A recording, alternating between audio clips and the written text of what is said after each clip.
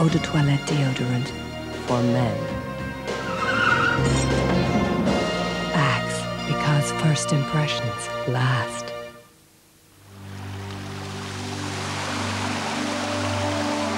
Sanusi har et system, der sparer vand hver gang du vasker. Sanusi Jet-system. Sanusi indlysende teknologi. Her er printeren, der opfylder alle behov. Fra sælgerens til regnskabsmandens.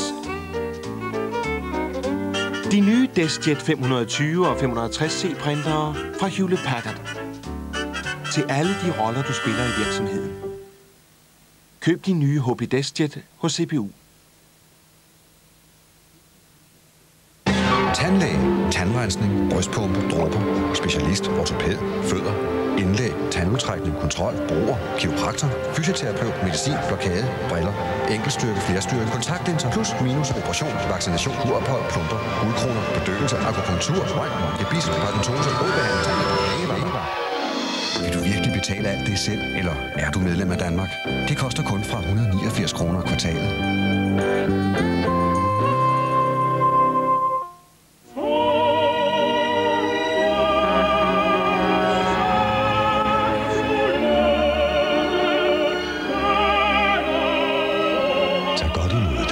Ægte Fatsa mælkechokolade. Smagen, der råvarer. Ferie med både buller og børn. Vi sejler med DSB til Jylland.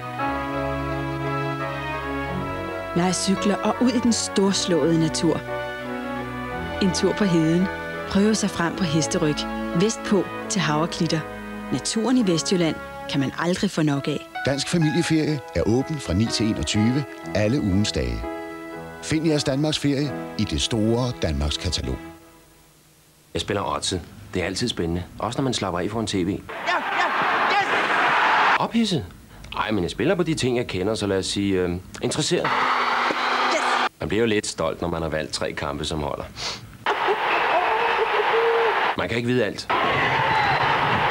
Men ved man bare lidt, så vinder man tit. Og der scorer i de sidste sekunder. Fantastisk flot. Og så henter man pengene næste dag. Hvad sagde jeg? På tirsdag starter Odset med programbladet hos din online-forhandler.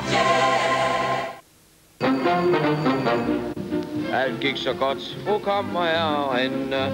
Men det er jo den slags ting, der sker.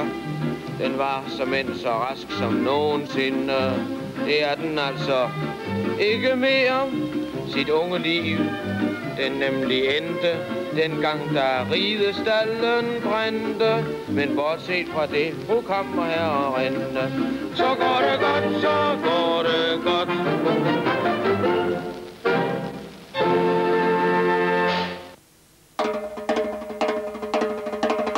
Kokkepins hvedemel 2 kilo 8,95. Guldkorn 500 gram 19,95. Biotex 1,5 kilo 24,95. Tomat ketchup 500 gram 4,95. Knor Bernæs 4 gange 27 gram 16,95. Kvickly, så behøver du kun at handle et sted.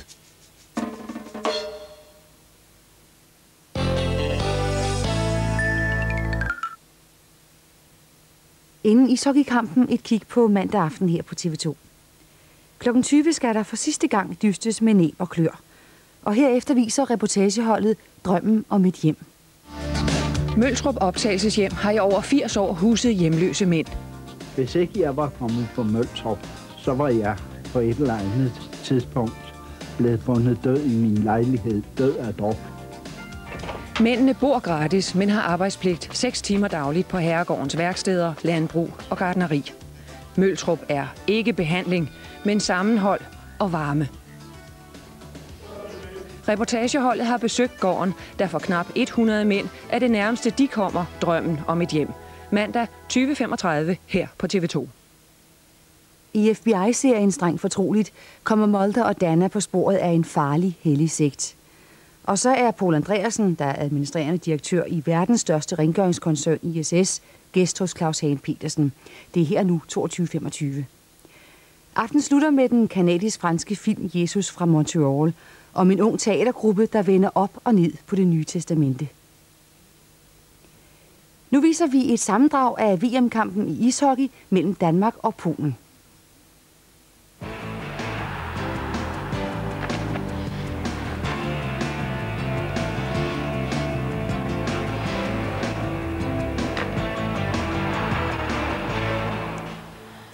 God aften og velkommen til Brøndbyhallen og til Danmarks tredje kamp ved B-verdensmesterskaberne. I aften der skal de rødhvide til eksamen, til ishockey-eksamen mod Polen.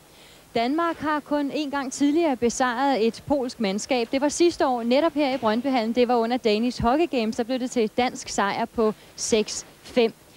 Situationen i B-gruppen før aftens kamp, den er den, at Danmark er på en fjerde plads med maksimum point 4 for to kampe, men det har Polen også. Polen er nummer 3 på baggrund af en bedre målscore. Polen har en målscore på 12-5, mens Danmark indtil videre i hvert fald må nøjes med 9-5.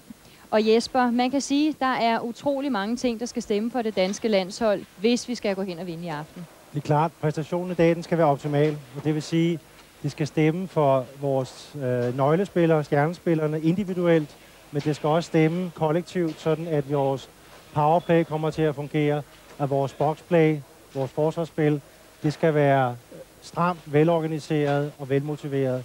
Jeg tror også, at spillerne i dag er velmotiverede. Lad os håbe det. Inden kampstart, der skal vi lynhurtigt en tur ned forbi Henrik Jensen ved spillerindgangen. Galbraith en stor indsats mod øh, Holland, men øh, hvordan bliver kampen her i aften mod Polen?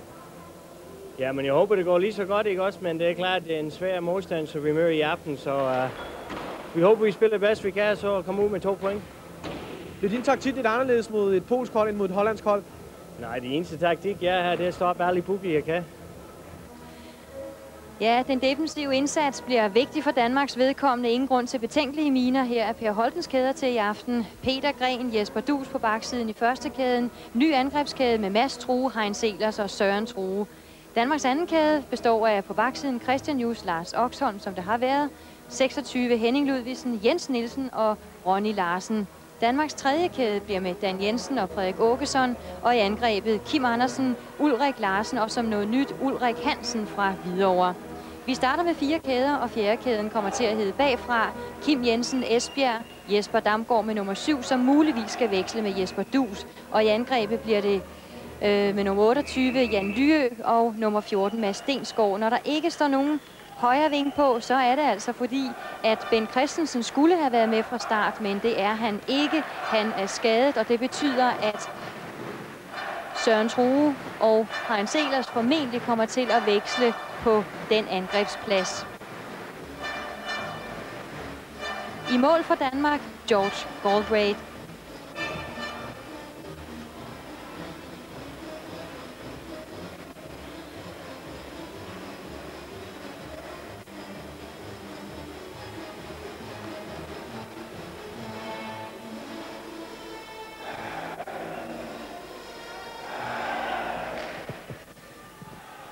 Den kanadiske dommer Jim Houston har sat kampen i gang. Danmarks absolute nøglekamp, når det kommer til medaljer mod Polen.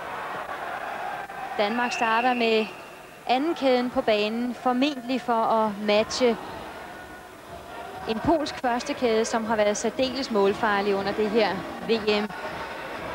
Og hvis vi skal knytte en kommentar til polakkerne, Jesper.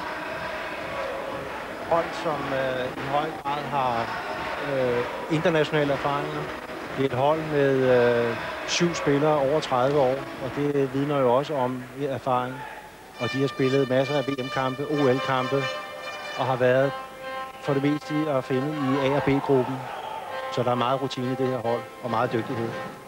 De seneste to kampe, polakkerne har spillet op til BVM. Den ene kamp var mod Schweiz, der tabte polakkerne 2-5, og man spillede uafgjort 4-4 mod et schweizisk B-nationalhold. Men ellers har det altså været flotte polske resultater i OL-kvalifikationen. Blandt andet spillede man uafgjort 4-4 mod Slovakiet, som gjorde god figur under de olympiske lege i Norge. Puccio, Maurius Puccio med nummer 27, polsk topscorer. Men her bølger spillet Danmarks vej. Første kæden på banen. Peter Gren